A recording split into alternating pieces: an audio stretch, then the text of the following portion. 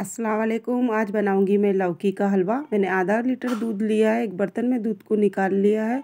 दूध को गर्म के लिए मैंने रख दिया है और बीच में चम्मच चला लिया है मैंने। मैंने लव, एक लौकी लिए उसे अच्छी तरह धो लिया है मैंने। इसे आगे पीछे का भाग कटिंग करके फेंक दिया और इसका छिलका उतार लिया है।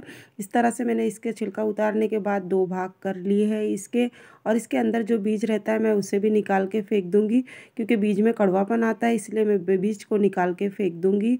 और उसमें वह खोबरा किसनी की मदद से या किसी भी किसनी की मदद से आप इसे इस तरह कीसिए और बारीक कीसना है जिस तरह हम नारियल कीसते हैं, उसी तरह कीसना है इसे, एक तरफ़ दूध भी उठ चुका है, अच्छी तरह गर्म हो चुका है और जो मलाई आई है इसमें मैं भी, इसे भी इसमें मिला लूँगी। बीच में चम्मच को अच्छी तरह मैं मलाई को मिला दूँगी और जो हमने लौकी किस के रख ली थी, मैं लौकी भी इसमें डाल दूँगी और इसे अच्छी तरह पकाना है। जितने अच्छी तरह पकाएँगे, उतना अच्छा टेस्टी लगेगा।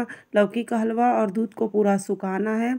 मैंने आज को मीडियम ही रखा है और मैंने इसमें ग्रीन कलर डाला है और टेस्ट के हिसाब से मैं इसमें चीनी डाल दूँगी और इलायची पाउडर डाल दूँगी मैं इसमें। इन सभी को मिक्स कर लूँगी, अच्छी तरह मिक्स करना है। जब तक के दूध ना सूख जाए, तब तक के अच्छी तरह इसे पकाना है। जितना अच्छा ये पक जाएगा, उतना अच्छा खाने में टेस्टी लगेगा। लौकी का हलवा एक तरफ़ घी गर्म हो चुका है। मैंने काजू बादाम लिए हैं।